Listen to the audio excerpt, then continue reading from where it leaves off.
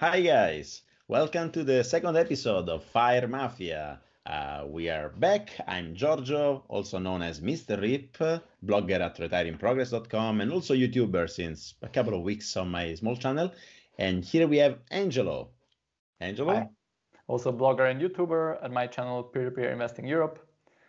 And yeah, today we're going to be talking about um, where to start investing because we thought it's it's good to have an introduction and to talk about our, our views on investing and to give you a bit of an idea on where to get started, uh, strategizing, what broker to choose, um, passive investing, why we believe or why we may not believe uh, which direction is best. Um, then um, uh, what you can automate, should if you should if it makes sense to invest over time or maybe uh, do like a lump sum investment um, and then rebalancing and, and in the end we're going to talk a bit a little bit about taxes as well in, in different countries.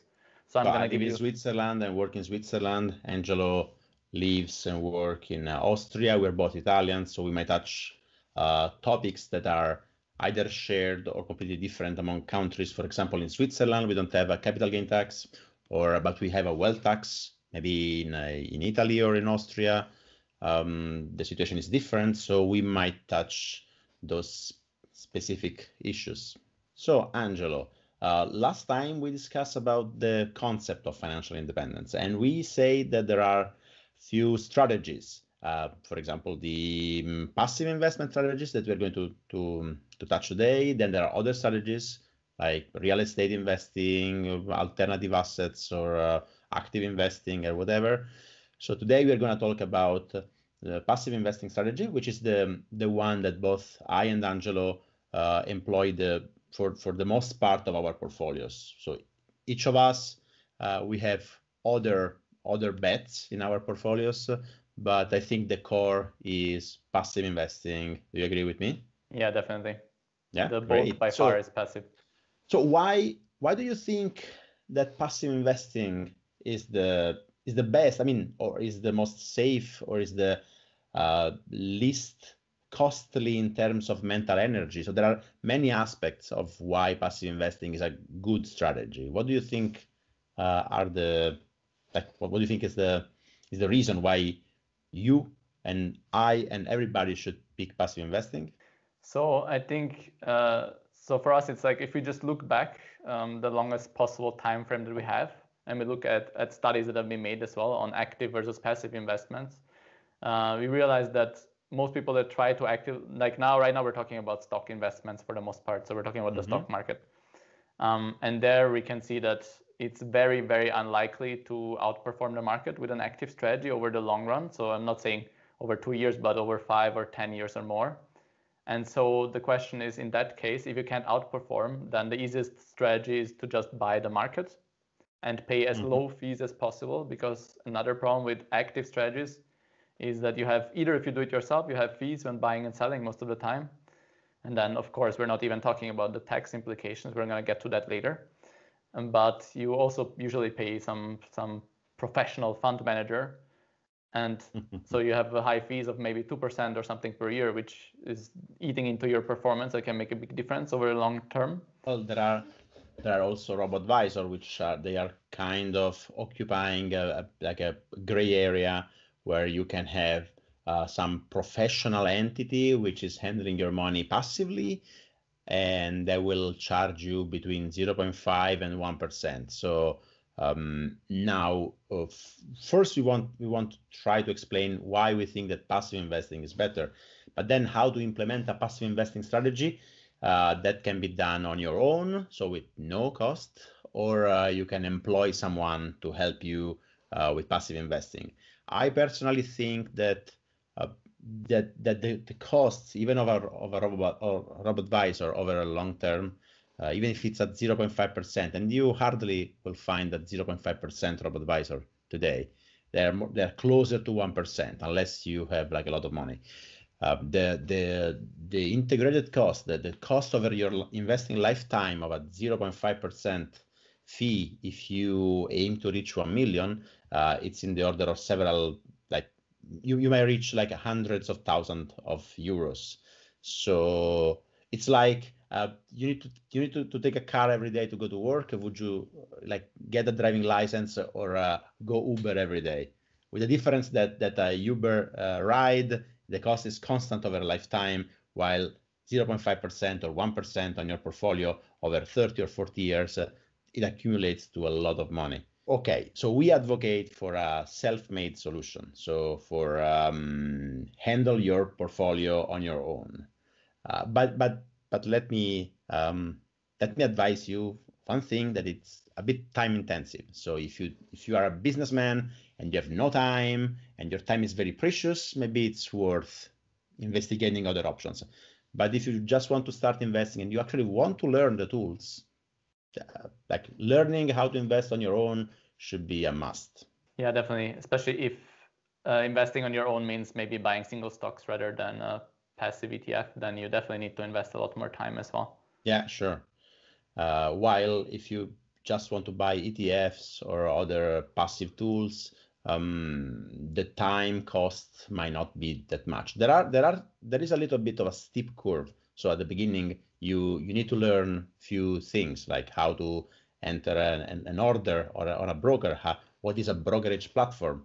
Um, what is an ETF? Which ETF to choose that tracks your index and and how to build your portfolio made of different indexes probably because you you you're never 100% passive you you can you are 100% passive if you started investing at your birthday like a birth date and you invested in the entire market uh, until you die you always have to to do some some activity and we're yeah. going to see it yeah i think the um the the future what what they are talking in the financial uh, like forums is that in the end you will reach your own personal index that, that tracks your risk attitude, your uh, some uh, how can I say some percentage of of what are your bets. Like I want to be a bit overexposed to emerging markets, or a bit overexposed to dividend stocks, or a, a bit overexposed toward the US or Europe or small cap.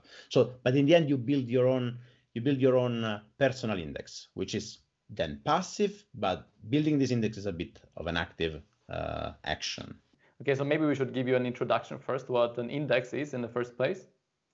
So let's say mm -hmm. if we are talking about uh, the S&P 500 index, which is very mm -hmm. popular, and I hear a lot of people mention it even in Europe, and that's an index. So that's basically tracking the U.S. stock market on a market mm -hmm. cap basis. If you buy a share of of the of the S&P 500 index, which is by the way uh, a basket of goods uh, defined by Standard and Poor's, uh, and uh, and what's in this basket?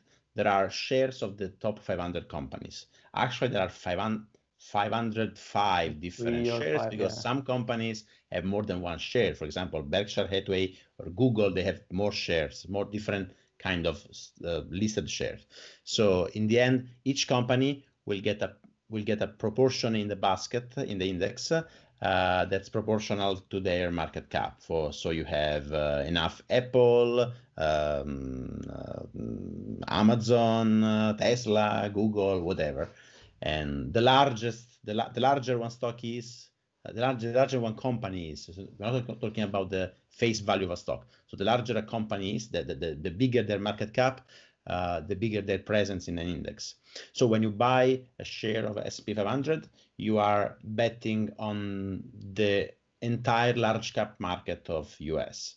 So if one company goes up, the other goes down, your uh, your share will go up or down based on the on the average uh, weighted average uh, direction of the of the daily market, and that resulted in the last 100 uh, SP 500 is probably up only since 1920 something, but but yeah. we had we have indexes even Dow Jones before, I think like before. Dow Jones from 1870. So in the last uh, 150 years, on average, the index value has grown after inflation about 7% or before inflation around 10%. So those are historical data. Of course, historical data are no guarantee of future returns, but historically, um, the market uh, went up.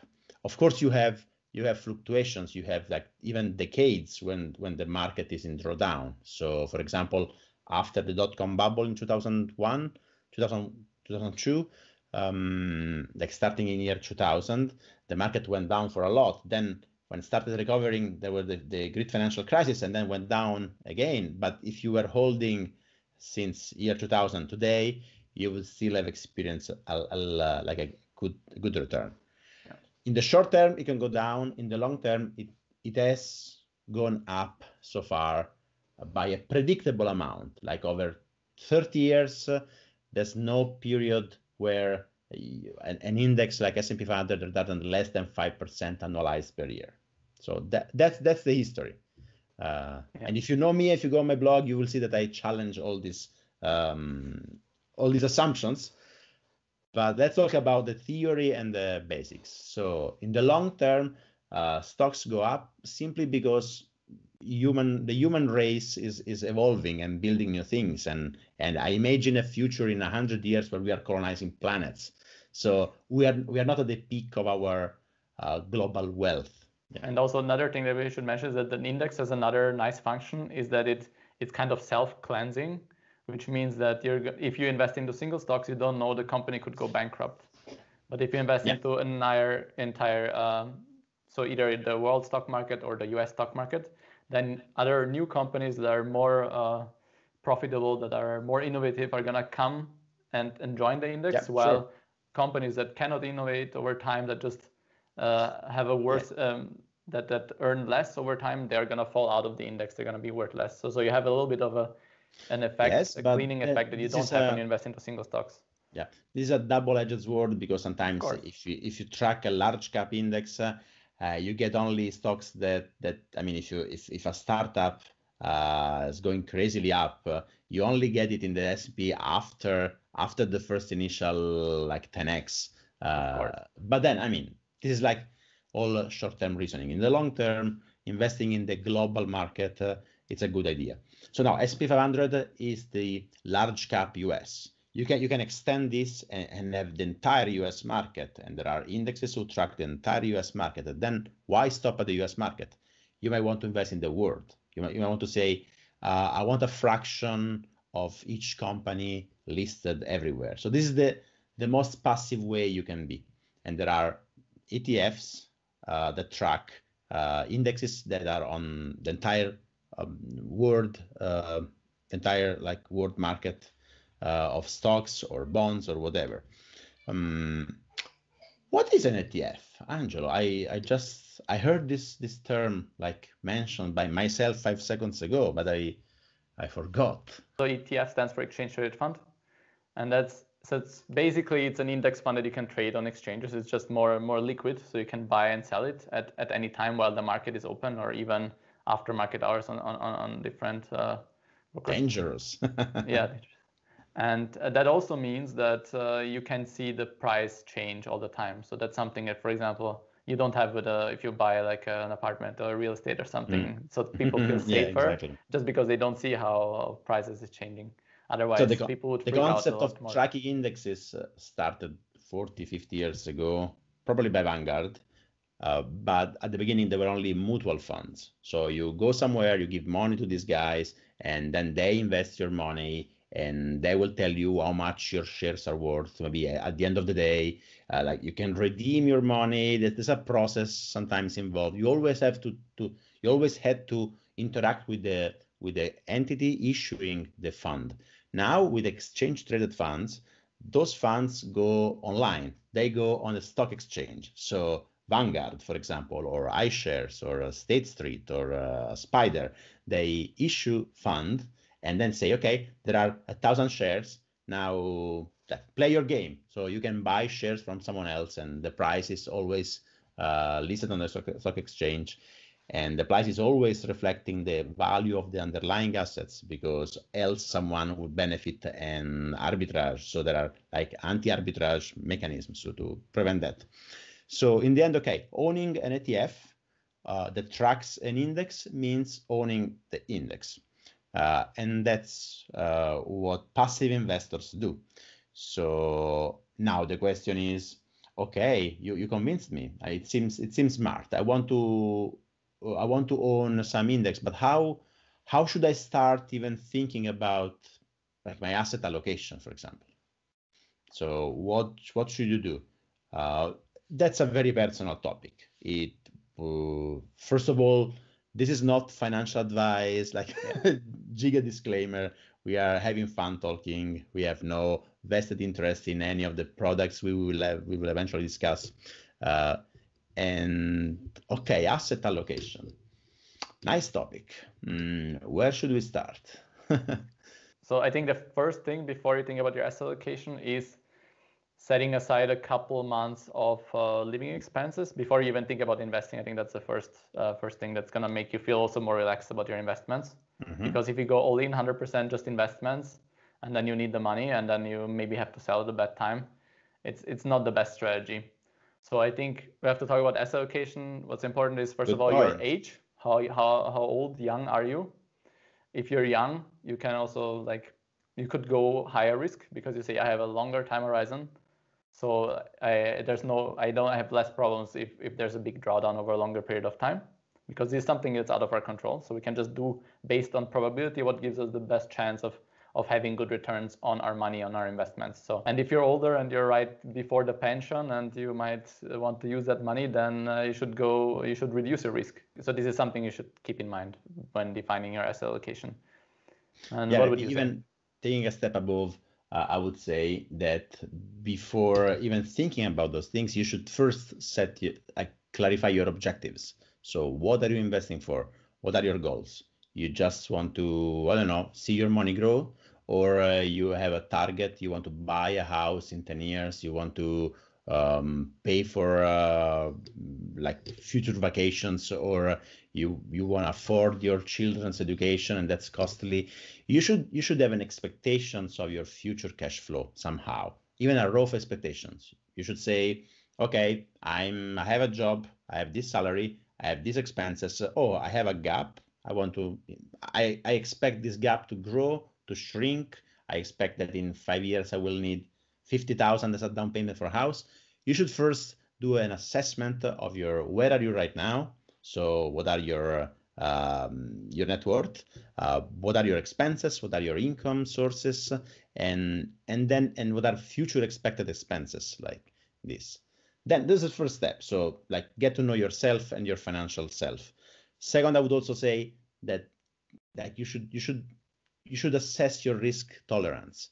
Because uh, this is another like that's a huge huge a huge mistake that I've done on first place. I never assessed my risk tolerance, and I'm learning it the hard way. I'm learning my risk tolerance on the market.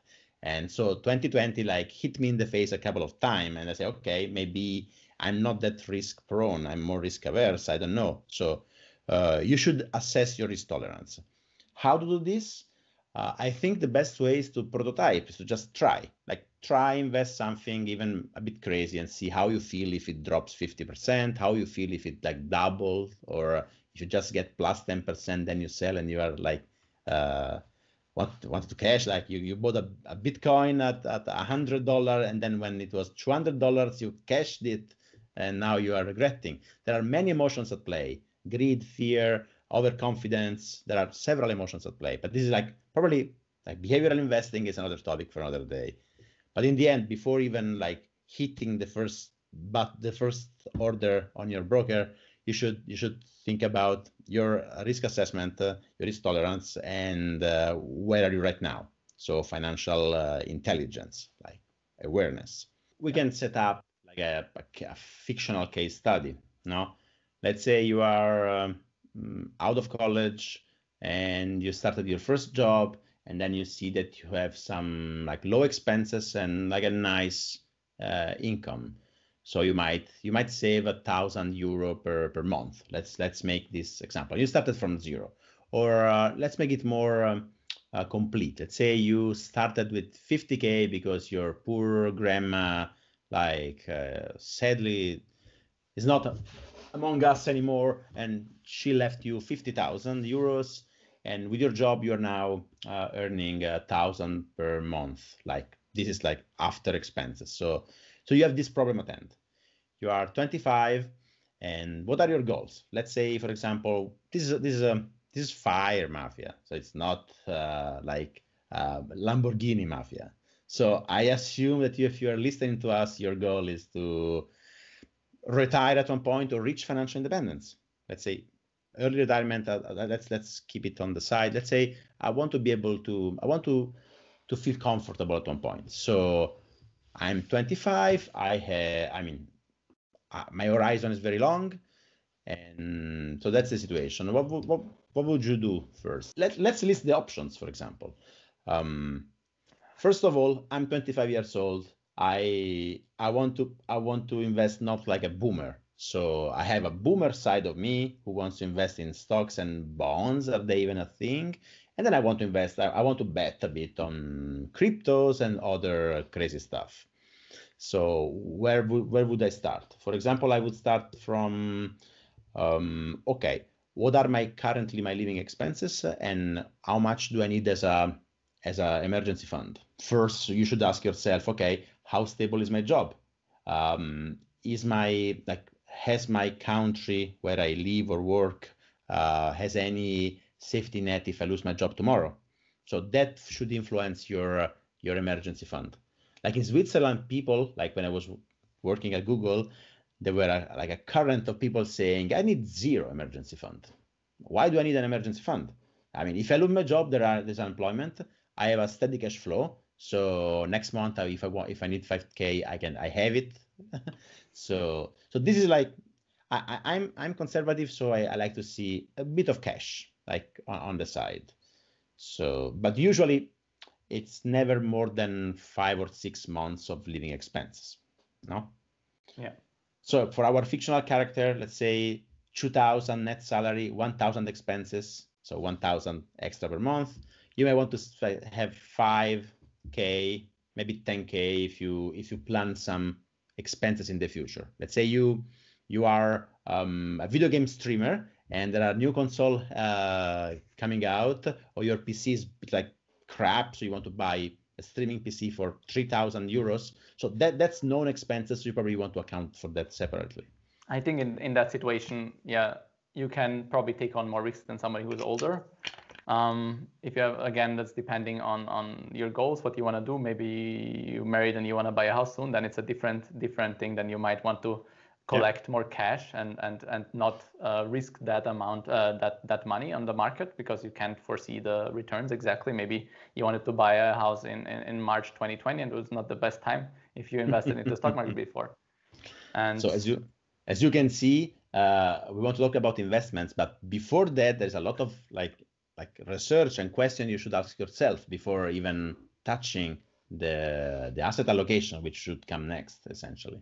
And so maybe you say, okay, I'm, I'm young, I, I don't want to buy a house right away. And then you can go into higher risk and you define your asset allocation say, okay, I have a long time horizon. I'm to put 90% basically of my investable capital into risk assets, which in our case, I think two of us agree that the stock market gives you the highest probability of, of good returns over the long run. Oh, Dogecoin. Dogecoin gives me more oh, uh, like better returns. Or if you go all in on GameStop, I'm sure that's a fantastic idea. That's work out for everybody. Late, probably. but anyway, so uh, our fictional character had like 50,000 and 1,000 per month. So how how would I start if I were recommending this person uh, how to invest? I would say, let's say 5k aside, 10k, whatever. Let's say 5k, then 45k at end, other 5k bet. Do whatever you like. Like have fun and feel the the pain of losses. Like learn learn who you are with those 5k and the other 40k this is your pension this is like the beginning of your future pension that can happen if you're lucky uh, in, in another 10 or 15 or 20 years which will be another couple of decades before normal people retire but you should treat them like that's locked I'm going to invest them and never touch for the next 20 years. Okay, so this is first. Uh, we're not going to talk what to do with the 5K in your emergency fund. And we're not going to talk what to do with the 5K you're going to waste on shit. Okay, uh, you have 40K and 1K per month. Uh, let's say that the, the, the 5K experimentation, they don't get any extra funding from the 1K per month, or, uh, or, or might actually get like 10%. So you save 1,000 per month, 900 goes to your plan, your pension plan, and 100 goes to your uh, fund money. Uh, the risk of having fund money is that uh, maybe you get lucky, maybe uh, you, you bet on Dogecoin, it goes 10x, and now you have the same fund money than your pension fund. So at that point, uh, I would recommend to rebalance and keep your fund money small. You, you've been lucky. Don't think you're skilled. Don't double down. Don't sell your stocks to buy more Dogecoins. so if you want to play, everybody wants to play, keep fund money under control. Okay. Then you have, okay, now we're going to discuss about the core. Okay. The the the pension fund. Okay, now we have to invest 40k and 1k per month.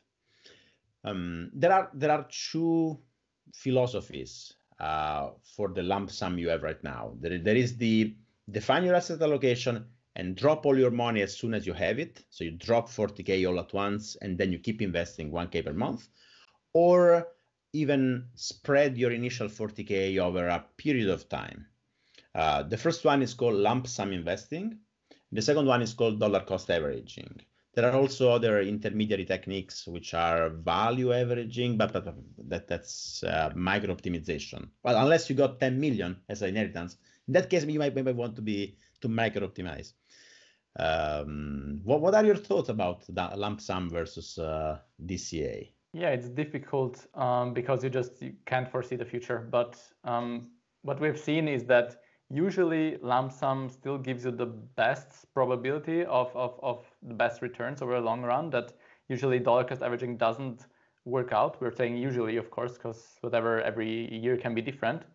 Um, but um, since the market tends to go up over time, as a result, usually it makes more sense to do a lump sum investing but mm-hmm. like if it makes you sleep better then you can you can invest in baby steps. You can do for example you can divide it in six into six pieces and invest it over time. I like Once that again, we are we are we are on probably on a different like you are the young i'm the old so i have slightly different opinions. But yeah please please go on. So personally i think lump sum is still the way to go. The problem is when you're in that situation then it's it's it's a different different feeling than in theory.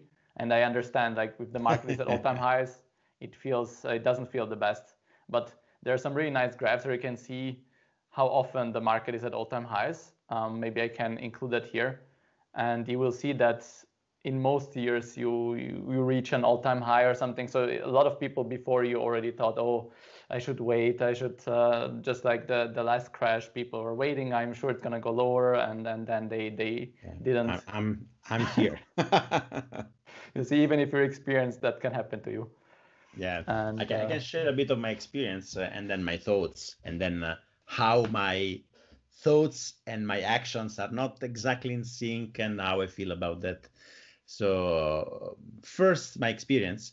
Um, I'm usually I'm very good at holding, even doubling down when things are going bad. So during March last year, uh, we are almost at the one year celebration of the market bottom, which was on the 23rd or 24th of March. I don't remember.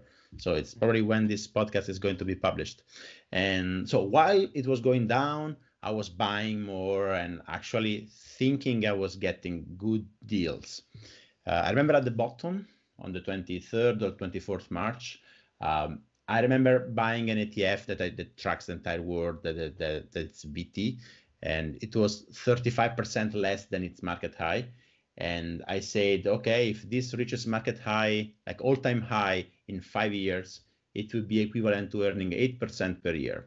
Well, where should I sign? I mean, that, that's perfect. I'm okay earning 8% per year. And I think that all the craziness around this pandemic, it was March 2020. So like, like when there were like tanks carrying corpses in Bergamo and there were like famous pictures and we thought the world was doomed but we knew it was like transient. It was not uh, like, like a, a, Black Mirror episode. So, so I said, okay, I think we are going to reach an all-time high in five years at least. Uh, so I'm, I'm, okay. I'm investing everything at, at this at, at, this moment. If it goes below, it's okay. In five years, we'll be back. We went back in four months. So after four months, uh, I made like back to all-time high. So my investments at the bottom returned at 40, 45% in four months. I say this is now now this is not rational in the other way. So I don't think we are already at the market high while there are still people dying on the street and shops closed. So I felt like uh, I'm not I'm not confident. Uh, so I sold. So I kind of quit the market. Uh, 90% quit the market in uh, August 2020. Uh, but then the market went thing? up. Got? One more thing we should mention again is remember in Switzerland you don't have capital gains taxes. So for oh, you, yeah, sure, it's a very sure, different sure. motivation than for somebody else. Sure. Because you don't have a penalty play. for doing that. Yeah, which is actually making things worse on the behavioral side. Yes, uh, with, with, with no um, no capital gain tax and essentially cheap uh, broker fees, you are you have more options, and options are bad. Um, so I I sold. Now I'm sl- slowly re-entering the market. Now I'm in a situation where I have a lot of money sitting, and I'm slowly uh, putting money back into the market, like doing a dollar cost average, essentially. Um, so my thoughts are, um, of course, lump sum investing from a mathematical point of view uh, should return the highest expected return on your money, but it has like slight, slightly higher volatility because if you tomorrow invest all your money and the market drops 50%, yeah, if you invest a bit each month for the next year or two, um, you also buy at the bottom. So mm, on average, you lose money, uh, but you reduce volatility. So it's a really personal situation. So our friend with 40,000 to invest, let's say uh, that he decided to invest all at once. Okay. Now, uh, time to um, have a, an asset allocation. Okay. An asset allocation. First of all, asset classes. There are several asset classes. There are stocks. Uh, I don't think we need to explain what stocks, bonds, commodities are. I hope people know. So there are stocks, there are bonds, there are uh, commodities like precious metals, for example. Uh, there are derivatives that we are not going to touch now. Uh, we don't recommend for people like we don't recommend it. Uh, let's limit to stock bonds and commodities, even though uh, at the moment I don't invest in gold or other uh, commodities. So let's say stock and bonds, okay, which are the traditional portfolio split, stock and bonds. Also bonds. that's complicated. That's really, really complicated. Especially in Europe when you have negative rates. Yes, yes. So these are really bad. So the problem here is that essentially, if you are young, there are no alternative. That, that, that there's no alternative to investing in stocks or other things. Holding cash, you might hold more cash, but let's now focus on investing in stocks. Let's like let's not touch the entire asset allocation. So you should yeah. sit down and think about okay how much of your money I, want to spend i want to invest in stocks how much in other asset classes mm-hmm. and yeah let's say i'm this guy is 25 years old let's say i'm, I'm going 100% stocks which is dangerous which is dangerous especially at those all-time high that are going to come back frequently but maybe for a while we might experience a bear market so but let's say, okay, let's go 100% in stocks. Mm, what are next steps? So next step is we need to we need a broker where we can invest into stocks. So that's okay, something we wanted good. to talk about because we also got some questions about this topic. Okay, yeah, sure. But before that, I would, I would like to yeah to, to remove the the mm-hmm. last uh, pebble in the shoes. Sure. Uh, how would you invest 100% in stocks? Would you buy a single ETF that tracks the entire world? Or uh, would you spend some time thinking about your personal index?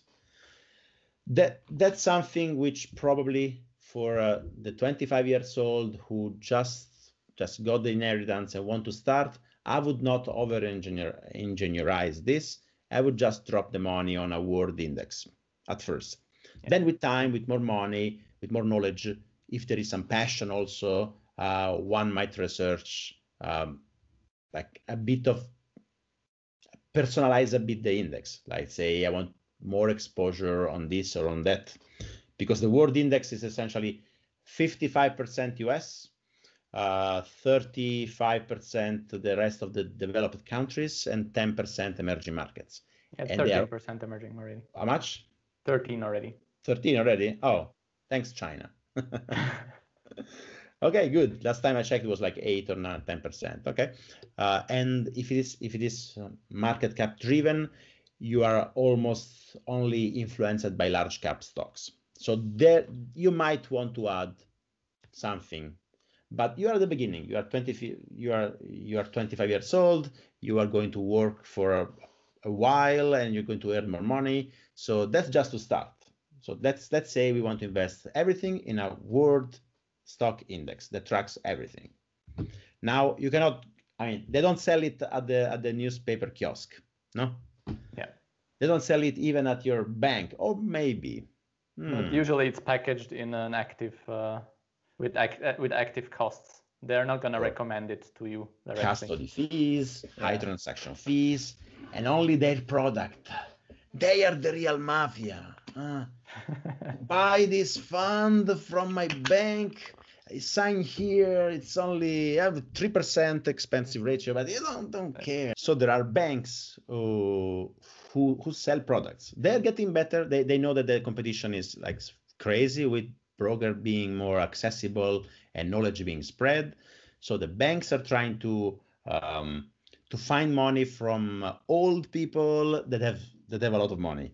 But if you are 20, 25, 30, um, you are the small fish. They won't try to probably to, to to catch you down. So you are and you are young. You can you can you can play with brokers and whatever.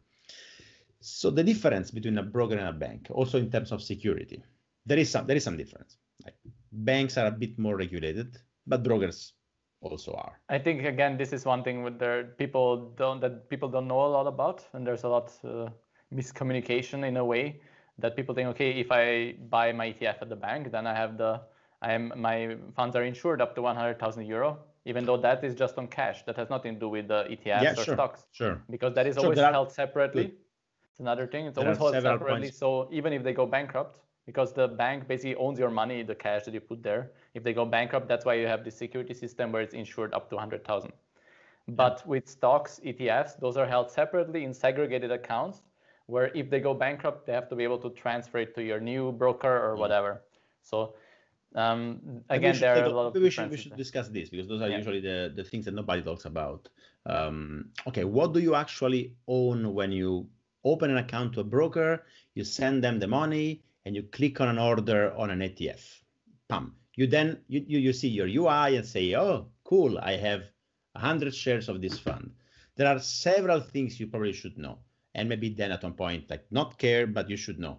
First of all, there is a broker. The broker is an entity you send money to, and you expect to get money back when you sell your shares or you transfer your shares. Um, brokers have regulations. Uh, sometimes they they are not sitting next to you. I mean, your bank, you probably know your your your bank institution is probably on, on your street. You can go there, meet people. The broker usually are not like that available. They have customer service. You can interact with them and whatever. Uh, the cash you have with them, it's usually stored in banks somewhere. Um, sometimes not under your name. Sometimes it's like bank accounts under their name, and then they have a record. So if they go broke, that's a bit of an issue. So if your bank goes broke, uh, you are protected in one way. If your broker goes broke, you are protected in another way. It depends on the on on the country where your broker is operating, in your country of residence and rules. Uh, But for the moment, let's say that in Europe, uh, cash on brokers is covered by the same protection of banks. I, I'm not sure because I'm not living in Europe. it, it depends. It depends on the broker. For example, uh, one Austrian brokerage that I use and my wife as well is called Flatex, and they have a banking license as well. So the cash is Okay. covered by the banking license, and and the the assets are are Mm. it's the different security. So that's anyway segregated, and that has the uh, the European uh, what is it investor compensation or something like Mm, this. mhm, Based on yeah. each country, has some differences. And also, I think the same thing is uh, DeGiro. Now they're introducing this since they were bought, they were purchased from Flatex. So now it's Oh, called okay, I Flatex didn't know. DeGiro Bank. And so they are also introducing the basically this security, this added uh, bank security on your cash, and then the separate uh, investments. Yeah. About the, the assets you own, so the the, the um, if you buy an ETF, if you buy individual stocks, those are of course segregated. Um, I try to track down what actually means. I try to call I don't know Vanguard and say, hey, my name is uh, blah blah blah, and I have a lot of shares of your ETFs. Is there somewhere written in your records that I exist? Or if my broker goes like belly up and the apps don't connect, what are next steps? Um, I discovered the existence of custody banks. So usually um, uh, a company, let's say Coca-Cola, they issue shares and there is there are banks who are called custody banks that they keep track of who owns what. And at their level, probably the custody bank only only knows that this broker has these shares. Okay. Um, and then the broker has internal records that are segregated. So there is a bit of, of a problem. Um, this is just this is just saying, but that, that's not a problem you would avoid investing with banks. Like with banks, it's the same. So if I buy my share of a Vanguard fund from my post finance bank, it's the same. The at Vanguard they won't know my name, and at the custody bank they won't know my name. So the, there is another custody bank between the broker and the custody bank of the companies uh, that should track this. This is a bit complicated. I'm I tried to follow a small rabbit hole a few months ago. I didn't uh, see the end of it. I will I will dig deeper. But right now, let's say that among all other investment options you have right now, if you want to buy crypto on some exchange or P2P lending, we are in the most regulated world ever. And so far, I've heard no no one getting scammed by a fake broker. Uh, you get scammed if you give your money to to to to, to Bernie Madoff. I mean, to individual investors who promise you high return. Here in the passive passive world, the, the, the largest brokers are too big to fail. And I mean, there's enough protections that if the, the cases where this doesn't work is when probably they are bombing your apartment for other reasons or there's a zombie apocalypse. So probably money won't matter much. we should turn a bit more positive because it's still called the yeah. Financial Independence Retire Early Mafia podcast. Uh, and so we want you to get motivated to start investing because sure. over the long run, you're going to be, I think, further down the line, you're going to be so glad that you started at some point. So these are just, we're going into a lot of detail right here down the rabbit hole, which is yeah. when you spend a lot of time on it, then you just go really deep and it's, it's a very complex topic. But luckily we have, this is a well-regulated market. Okay. So if you go with well-known uh, names of brokers, like uh, you should be, you should be as safe as possible in this space. Now, another so, yeah. thing is next step is go, to, okay, yeah. sorry.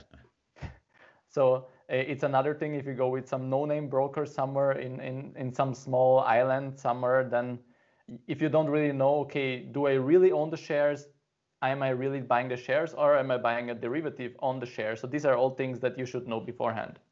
Yeah. And so now we're going to talk about brokers next because I think this fits in well. And I'm actually going to mention um, two brokers first that I don't like and, and why because I got this question. So the first one is eToro because you see a lot of eToro advertisements on YouTube. So I think this is a good one to mention.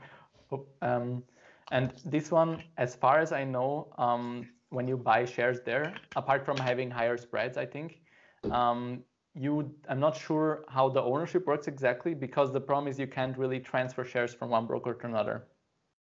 And this is a problem if for example, you want to switch broker, maybe the, the conditions are getting worse there, or whatever other reason you're not happy with them, and you can't transfer them without selling and then uh, getting your money out and then buying the same thing again. Again, there you have risks of getting in and out at the right time. Um, also and triggering, triggering like capital gain tax where it applies. Yeah.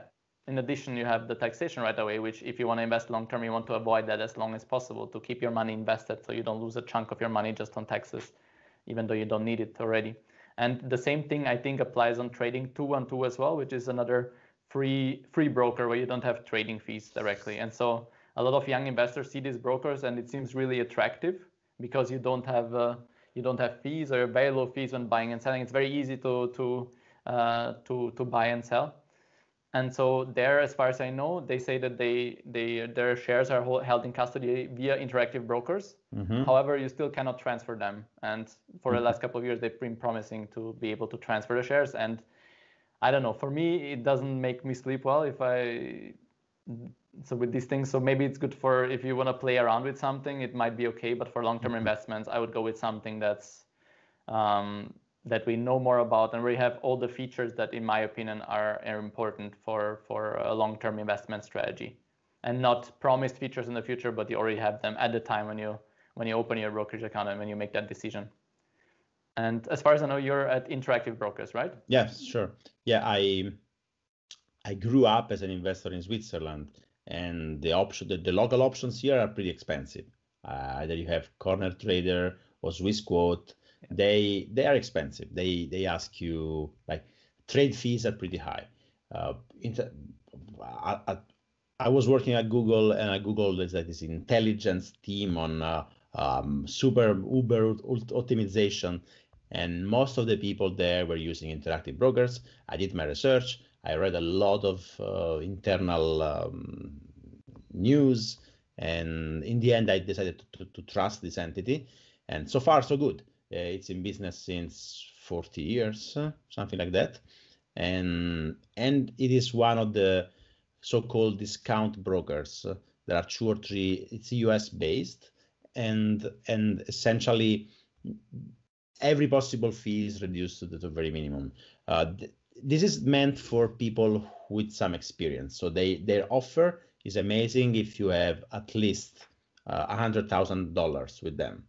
Uh, if you have less, you might be, uh, I mean, you, you will pay some some monthly custody fee, which is, by the way, deducted by transaction costs. So uh, right now, it's it's for the for the for the normal account. Now, maybe Angelo knows more about other alternative accounts with with IB. Yeah. Uh, with the normal account, you have to pay minimum of ten dollars per month in fees if you do some trades and transactions and you pay, let's say, five dollars in fees, you pay the other five dollars. You always reach ten, unless you spend more, of course. Uh, I say dollar because because IB is is, is US based and the trading currency, the, the, the, their rules are expressed in US dollars. Uh, but he can hold you whatever currency you have. Every currency you, you upload on IB or when you sell and buy shares, it's just one asset you have. While with other brokers, you are forced to use a single currency. For example, with DEGIRO or other brokers, you are uh, you are forced to use a single currency. Uh, with IB, you can own uh, you, you you can own whatever. You can have like Canadian dollars. Why not? I buy on the market Canadian dollars and I hold yeah, on you them. can set up different currency accounts as yeah, well. Yeah, sure. I have usually three currencies. Uh, I even afford sometimes I bought uh, British pounds, but I, I, by default I have dollars, uh, euros, and Swiss francs. Um, yeah, so IB is very cheap for currency conversion. You go on the market and you current you convert the the the money at the market price. They they brag of having less than half a basis point of spread in currency conversion, which is which means 0.005 percent spread, um, and at like a two dollar fixed fixed cost almost. So you shouldn't convert ten dollars. In that case, it wouldn't make sense. no, sense. yeah, exactly. Yeah. No, no. I mean, That's at least like a thousand to make it reasonable. Yeah. Uh, and then like trading fees are extremely low for US-based funds. I mean, here there's there's a lot of other things we can say about uh, buying US funds versus non-US funds, and it depends strongly on the regulation of your country. I'm in Switzerland, and in Switzerland we are allowed to buy US funds. Uh, in the rest of Europe, probably you can't. No, and that's they, the problem. Yeah. A lot of people see the financial independence videos or articles from US bloggers and then they look for the US funds. And so if you're in Switzerland, you're lucky you can buy those directly if you yeah. want. If you're in the rest of Europe, it's a lot harder and not Maybe really usually advised even if you yeah. yeah. But of course, I mean, outside of Europe. yeah, exactly. So those are the brokers we use. I mean, I use interactive brokers. There are, uh, if you're in Switzerland or in UK, you can attach yourself to the IB UK um, like variant, which is still uh, totally American. If you're in the rest of Europe, there are, there are three other offices, uh, but under European laws, so with less products available, uh, like probably lower protection and whatever. Uh, but I think it's still good. I don't know. Uh, I, yeah. I'm using the IB UK still. So I, I can talk about the the rest of Europe. Yeah. Cool. Um, because they they recently moved uh, also my own account from IB UK to IB oh, Ireland. Oh no! But yeah, I know, I know. That's I already talked with some some people who have a lot of clients because before I had my account via an introducing broker, TradeStation Global, and mm-hmm. sadly they did not uh, get a European license in time, and so they had to move all customers from the UK to Ireland, and uh, basically at that point I was just an IB customer, so I had to pay the ten at I would have had to pay the $10 monthly inactivity fee. Mm. Um, and so I, I, I, contacted CapTrader, which is another introducing broker. Ah, um, CapTrader, yes. Yeah, and I'm very, I'm very happy with them because so, so the only difference from an actual direct IB account and opening account there is you need an account minimum of 2,000 euro or 2,000 dollars or 2,000 Swiss okay. francs to open an account, and they make their money on the trading fees. So that means you don't have a $10 inactivity fee, which I think for most long-term investors that maybe invest 2,000 euro per month or something, doesn't make a lot of sense because there's no way you're going to reach this amount of trading fees on such a low uh, okay. amount of investments. Yeah. And uh, so you have a slightly higher trading fee, but like in my case, I when I buy the Vanguard ETF, it was two euro for a 2,000 euro order on the on the European exchange, and so for me it's still very low. So okay. maybe if you trade some two euro in, like, on 2,000 euros. Yeah. Okay.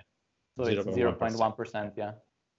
It's yeah, it's probably a couple of order of magnitude larger than IB trading US funds. I think I moved 100,000 euros for less than $1, but yeah.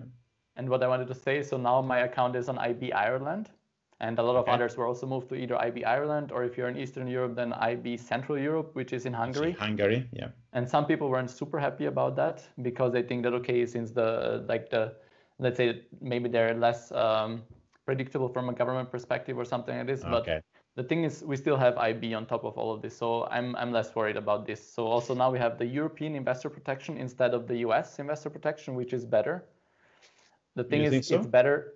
Yeah, I mean, I mean, at least from the amounts that are given. So in in, in the US, you have up to 250,000 euro, or up to, and then cash as well. The only thing is when you actually look into the ICE IPC uh, insurance and how much they have, like in a pool, in the end, it's still they would have to fill it up. You know, it's like based on all the ah, assets. Okay, IB UK, I mean IB US, they uh, there is the SICP, which SICP. is the security insurance, whatever, Protection. the American law that says everybody is going to get 250k plus plus IB uh, signed an insurance with Lloyd, I think, but that's ridiculous. That's a ridiculous amount. So that's just for PR. They just say, hey, we also have an extra insurance of like up to 10 million euros, everybody combined, which is like probably peanuts. Uh, but I, I think, I mean, I, I think, and by the way, if protections need to be triggered, uh, it means something really bad happened probably in the economy. So I'm not sure the governments are able, unless they're going to print more money and say, okay, you want more money? I print them and give it to you. And it's a hyperinflation, uh, like 250,000 uh, US dollars if you can buy a banana. I don't know. Uh, so yeah. once again, it, it, wouldn't if even if IB goes bankrupt, it wouldn't need to trigger the protection because that's the these assets are held separately again. Okay. So the protection yeah, sure, is only sure. if they can't recover your assets because I don't know some some crazy. Uh, well, yeah, we are trying to protect against Machiavelli here. I mean, if if a company just goes belly up because hey, we are out of business, uh, bye bye. Now do your stuff in liquidation to get your asset back. That should be fine. But if the company is, is run by, by a Madoff, by someone who want to try to, to, to, to, to screw you, there are protections for that as well. So the, the silo, the separation of assets, that's a protection against like a malicious entity. Uh, by default, when companies go bankrupt, they don't they don't necessarily they're not necessarily malicious. So if things go bankrupt the normal way, uh, you should like be 100% sure you get everything. Uh, now we are on a broker. Okay, I signed in thank to you, Angelo and Giorgio, that recommended those brokers. But by the way, we are going to put some links in the yeah. description, and uh, we have affiliate affiliation probably. I have affiliation with IB. I also have an I recommend IB. Um, but but uh, how can I say? Uh, I'm not recommending IB because the affiliation. I would recommend it anyway. Uh, and uh, but if you sign using our codes you probably get some uh, i don't know i think you get some money or uh, uh, free shares or something like this, and we get something as well. Um, now we are on a broker. Cool. Uh, what's next? What's next? Yeah, um, so now we have the broker, and again here it's a country-specific thing. So I want to mention since I know many people who follow me also are from Austria or Germany, and if you're in Austria and Germany, then we have very specific, very complex tax laws, and in that case, I would really recommend going with a local broker rather and save yourself the the headaches. So, for mm-hmm. example, in Austria, um, you have basically one broker which has basically no competition from a cost perspective, and that's Flatex, the bank that I mentioned before, the Flatex okay. broker. And um, because there you can have a free brokerage account, and then you can even put up savings plans and, and then buy an ETF for either free uh, once per month or like a one euro 50 fee for an ETF purchase. Okay. And you can automate it very easily. And they take care of the taxes for you, which is a huge advantage. So you don't have to deal with anything else. So either dividends or capital gains and things like this because otherwise you would have to do file your tax returns. And i think for most people that's that's a lot that's of annoying. hassle especially if they don't have to do it if they're employed. Then they're like okay now i just because of this uh, shit. And mm-hmm. um, and if you're in germany also there you have i think you have very good options there. A lot of low cost brokers that are well regulated. Like some of the top of my head are smart broker. You can also use flatex but there they actually do have a, an account fee. So some percentage of your funds that are invested which I would always avoid whenever no, possible. The custody fee is the worst. I mean, you should yeah. avoid any. Usually, banks they have custody fees for the funds which are not issued by the bank. So that's the real yeah. mafia. So remember, Flatex Austria is good. Flatex Germany not so much. Um, and then uh, you also have scalable capital and uh, some others like Trade Republic. But there, I think you have more uh, iShares or something ETF, some more BlackRock stuff. Mm-hmm. And so okay. these are some some um, yeah some okay. some tips, and I'm gonna put the link say, down below yeah let's say we we we we, we pick the broker. I mean, our guy yeah. pick the broker and say okay i'm going to invest with whatever let's say interactive brokers or CapTrader or uh, DEGIRO or whatever. And now okay should i wire them the money? I'm scared.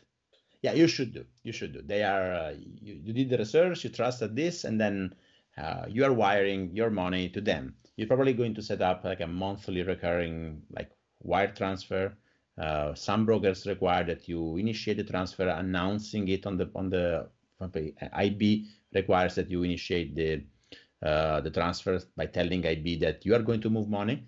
Um, and then, okay, now you have money, you have real money on your brokerage account. Uh, first thing is to now you need to define your asset allocation. But we just say that for simplicity, for this podcast, uh, we're going to invest 100% on a world ETF. Uh, where do I find one? Uh, do you do you have any tool to? Uh, I mean, I heard this. I don't know. Where do I find a good ETF? So a good website that I like to use is just ETF.com, mm-hmm. and there you can type in like you can either select directly an index and you want to find the the ETFs for that index, or you can mm-hmm. type in S&P 500, you can type in MSCI World or uh, Vanguard uh, FTSE All World, or, and you can find all these ETFs, and you can also find more details if they're accumulating, if they're distributing, so if they're paying out dividend, uh, dividends regularly, or if they're reinvesting the dividends. You wanna, do we wanna list some of the characteristic of an ETF? You should care about what index it, it is tracking, of course, mm-hmm. um, and it should match with your uh, intention. Okay. So for the entire world, there are few indexes. One is the from MSCI, there are there is the MSCI World, which is only developed countries, 23 countries. There is M- MSCI All Country World, which is called ACWI, ACWI, uh, which contains also the emerging markets. Sooner or later, there will also be index about frontier market, like I think there is one already, but it's very oh, small. Oh, really? Okay, it's very, very small. small. And maybe it's synthetic on a swap basis. I'm not yes, sure. Yes, I mean, not... imagine going all, in all the buying stocks in the, in the, in every stock market for less than emerging countries. It's complicated. Yeah. Uh, there are other issue, uh, other uh, index uh, um, companies like uh, FTSE, FTSE, which is a subsidiary of London Stock Exchange. So there is MSCI, Standard and Poor, FTSE, uh, whatever. Uh, you decide which index. They probably shouldn't care much about the actual index. It, you care. You should care about uh, what the index means. Yeah. yeah. and then you try to you, you see that there are several ETFs. Uh, an ETF has a, as an issuer. So who who issued the ETF? Uh, usually those are Vanguard, those are BlackRock slash iShares, same company. Uh, there may be SPDR, there may be State Street, there may be um, Xtrackers, which is Deutsche X Bank. Xtrackers, yes, right, exactly. Yeah. Also UBS, uh, Credit Suisse, other banks, Deutsche banks. Yeah. Uh, those are not necessarily bad. They also issue passive passive funds. Um, how to pick one? Uh, one key ingredient. I mean, there are several key ingredients. One is, for example, the cost, the recurring costs. So why we why we pick passive investing? Because we think that um, the strategy is better than active, especially when considering the cost of active investing. So a passive a passive fund should invest according to an, algorithm, not a smart algorithm. It's not AI trading. It's just every first of the month, drop the money on this. Okay, uh, so this can be done programmatically with very low cost, which means behind an ETF, there's not like a lot of people in Sweden with a tie, uh, like pay, getting paid billions of money. So the costs are very, very low. You can find ETFs with 0.03% costs per year. And you maybe we can attach a, a resource where that, that shows you the difference in uh, uh, with uh, 0.1, 0.2, 1% fee, what happens in your lifetime of investing. So one thing you should minimize is costs. That's a total expense ratio. That's how it's. And it's called TER, total expense ratio. So this, the lower the better. Can I uh, mention one short thing yeah, sure. while we're there? Uh, and when you look at the cost on just ETF, you can select a couple of ETFs on the index that you want to track, and then you can check the performance over the longest period of time that that, that they match, basically. And so for yeah, me, exactly. the total expense ratio is not the only important thing, but basically the tracking difference in the end. So really, how close are they to tracking the index?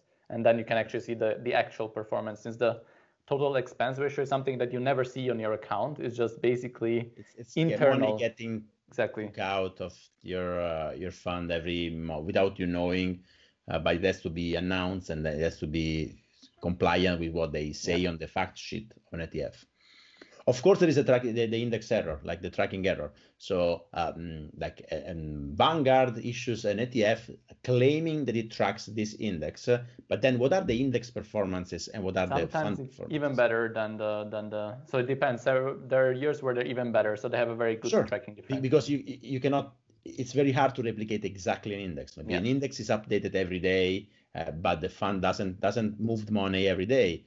And then let's say that tonight there is a stock which is outside the top 500 and tomorrow at closure it gets 10x and jumps into the sp 500 be my fund will get this stock in a month when they rebalance. So it's hard to track. And then also owning exactly the entire market might be difficult for small funds. So one thing that helps is getting fund with a large asset base like it's called AUM, asset under management. And I usually aim to things which are larger than 100 million, but even in the billions is better. So if if you if your fund is small, there are two several issues. One is that you it might not track the index exactly for the best or for the worst. Usually it's for the worst. I don't know why, but it should be pretty random. Uh, and then you have a tracking error. And second, if if the fund is small, you might have less people trading it so when you want to sell, you need to accept a higher bid-ask spread because if there are only three three uh, shares and I want to sell one, who am I selling to? Uh, maybe not not there are not many people interested. You see that if you trade very large funds, you have bid and ask spread when you want to buy or, or sell that are like so close together and that usually should not impact much your strategy because we are buying and holding forever remember yes then distributing and accumulating, does it matter in your country? In my country, yeah. In most countries in Europe, I would say yes. Um, and in my country, also just easier and more tax efficient to choose an accumulating version. Because so what does an accumulating ETF do? It just reinvest the dividends that it receives from the companies inside the, the index. It reinvests them regularly into the fund and buys more shares of the same companies. And yeah. what would you do if they're paid out? Usually, what happens is you pay taxes right away when you receive the money, or you have to pay taxes in that tax year if you have to do the tax uh, returns yourself.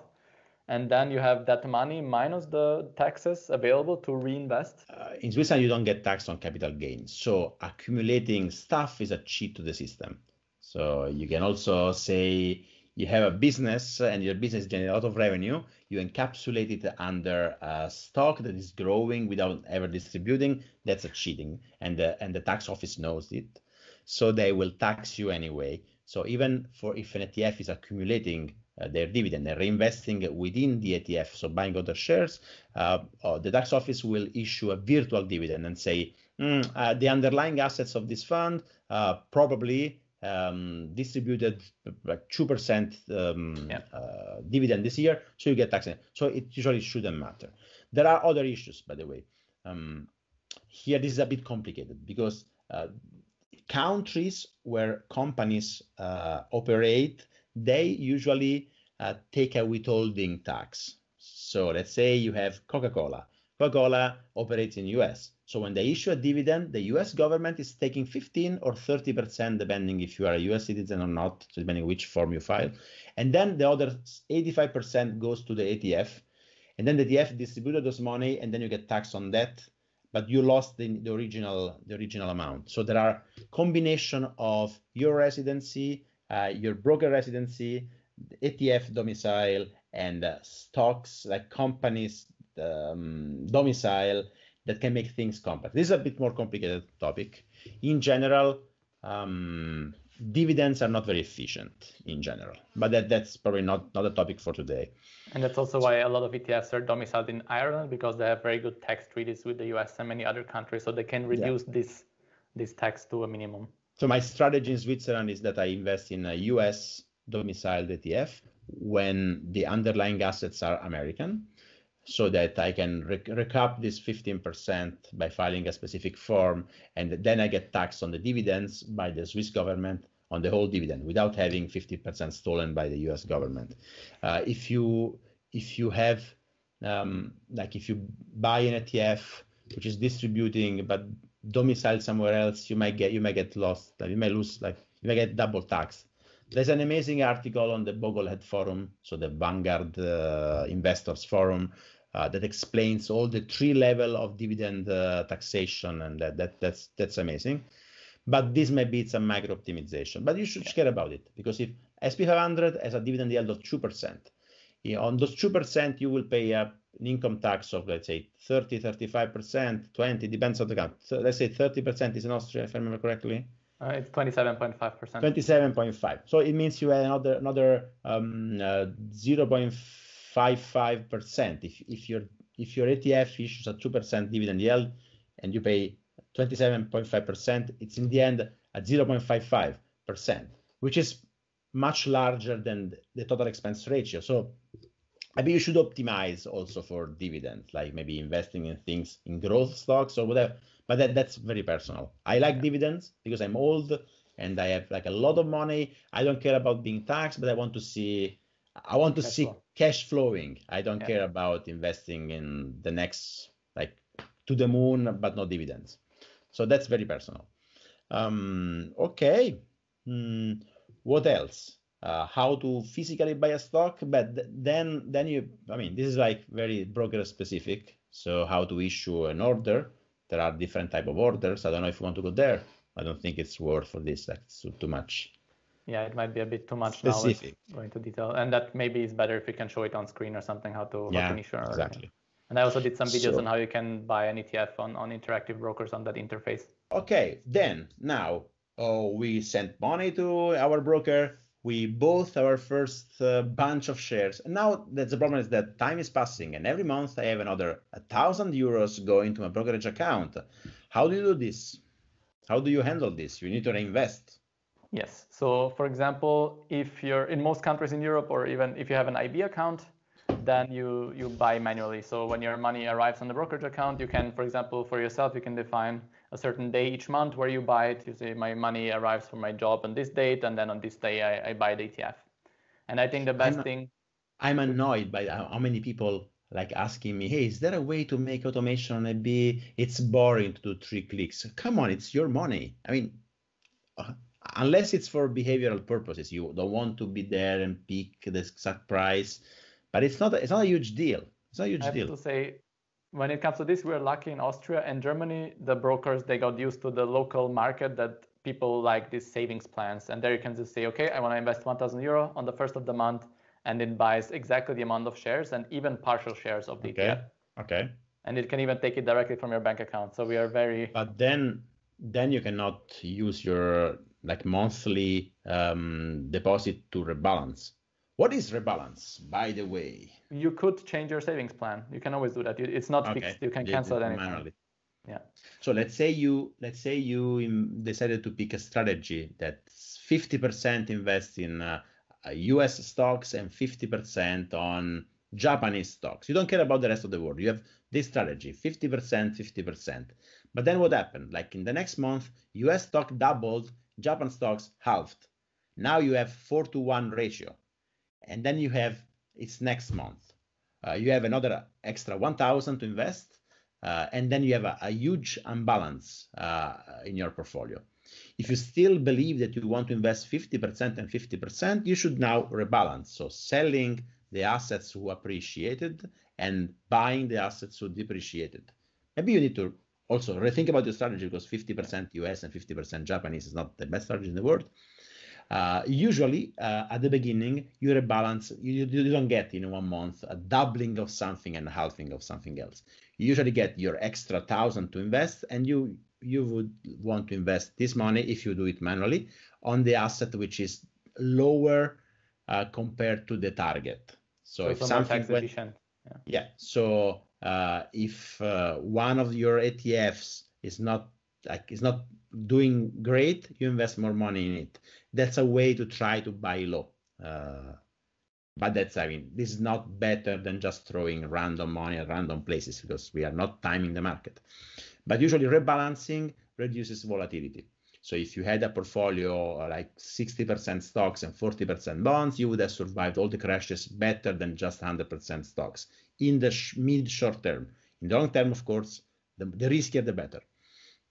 Anyway, this is the concept of rebalancing. Um, automation. Uh, I'm in Switzerland. I use interactive brokers. I I have an automation from my bank to IB, so I usually send uh, five thousand per month from my bank to IB a few days after I receive the paycheck. Um, and then I go manually on IB and uh, actually I don't invest that 5k because they just they just arrive on top of an, a lot of money that are need to be invested. So I'm oh holy shit, I have another 5k to allocate. I'm still sitting on a lot of cash. I don't know what to do. But usually you get this money and then you manually decide what to buy for uh, for interactive brokers. Oof, okay, I think we touched a lot of topics mm-hmm. Angelo. Maybe it's too much. I, hope not. Let, we, let's we try to cover this, a lot. Uh, let's give our audience a break. I hope you got a bit of an idea on how to start and how to get started with investing into stocks and ETFs.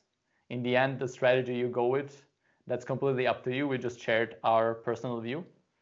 And since I didn't mention it again, like for my, my own strategy is very simple, just one ETF. That's the Vanguard FTSE All-World. And it's mm-hmm. physical as well because you can also have you also have some synthetic ETFs which are swap based, and I'm not a big fan of that. That's also something else you can find on Just ETF, these details. So just just check there, and you're gonna get all that information. Um, so I just buy this one ETF, a very simple strategy. Uh, with your ETF strategy, you're also a bit more broad, right?